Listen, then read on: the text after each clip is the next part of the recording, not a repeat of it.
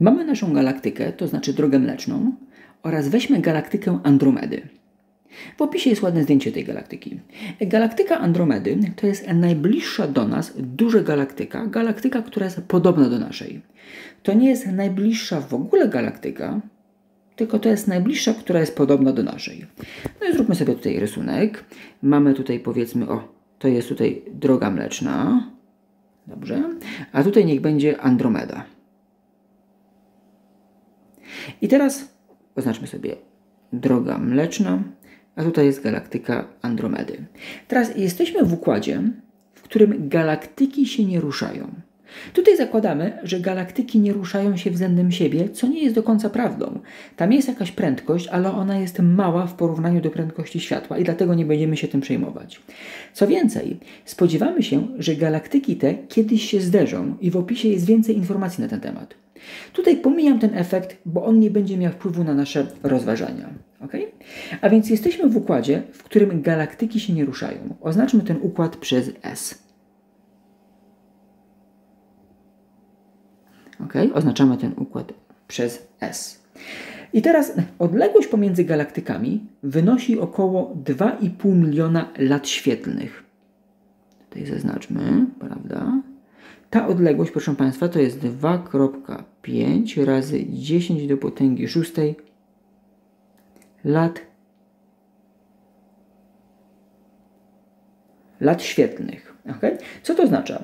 To oznacza, że na przykład światło wysłane z Andromedy potrzebuje około 2,5 miliona lat na dotarcie do naszej galaktyki, czyli ta czyli galaktyka Andromedy jest bardzo, bardzo daleko, prawda? Światło potrzebuje 2,5 miliona lat, żeby pokonać ten dystans.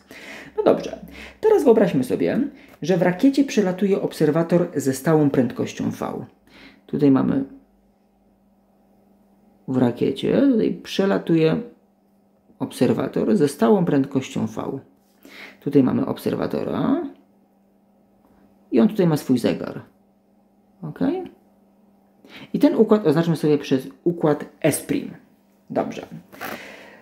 Załóżmy, że ta prędkość jest bardzo bliska prędkości światła. Ok?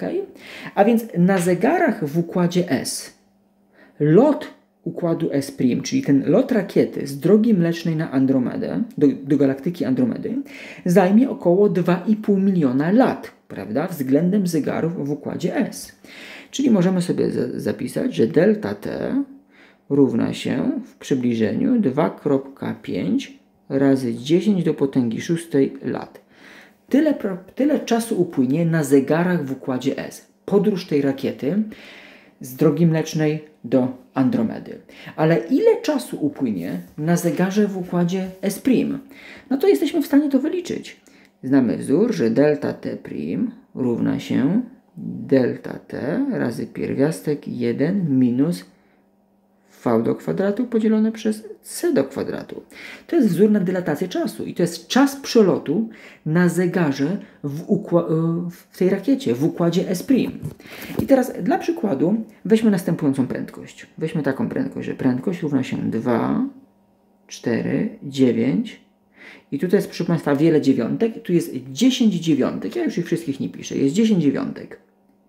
Dzielimy teraz przez 2 i 5, mamy 0, i tak samo mamy tutaj 10 zer. Następnie bierzemy z tego pierwiastek i z prędkości światła. To jest taka prędkość dla przykładu, a to jest proszę Państwa w przybliżeniu 0,9 i tu jest 10 dziewiątek. Mamy 11 dziewiątek i na końcu mamy 8 z prędkości światła. Czyli widzimy, że jest to prędkość, która jest bardzo, bardzo bliska prędkości światła. Ok? Jeżeli teraz weźmiemy tą prędkość i postawimy do wzoru na dylatację czasu, to przekonamy się, że delta T' równa się 5 lat. Ok? A zatem na zegarze w układzie S', na zegarze w tej rakiecie, czas lotu z drogi mlecznej do galaktyki Andromedy to jest 5 lat. Więc widzimy, że przynajmniej teoretycznie możemy dolecieć do galaktyki Andromedy. Następnie możemy wrócić z powrotem do naszej galaktyki, tylko w naszej galaktyce upłynie około 5 milionów lat, no bo 2,5 miliona lat w każdą stronę. Więc widzimy, że szczególna teoria względności pozwala na podróż w przyszłość Ziemi, ale już nie ma powrotu. Teraz jak wygląda sytuacja z punktu widzenia obserwatora S'? No, obserwator w rakiecie powie, że on potrzebuje tylko 5 lat na pokonanie odcinka Droga Mleczna Andromeda, bo dla e, obserwatora w układzie S' względem układu S' odległość Droga Mleczna Andromeda jest odpowiednio skrócona i tutaj odsyłam do wcześniejszych wykładów. Dziękuję.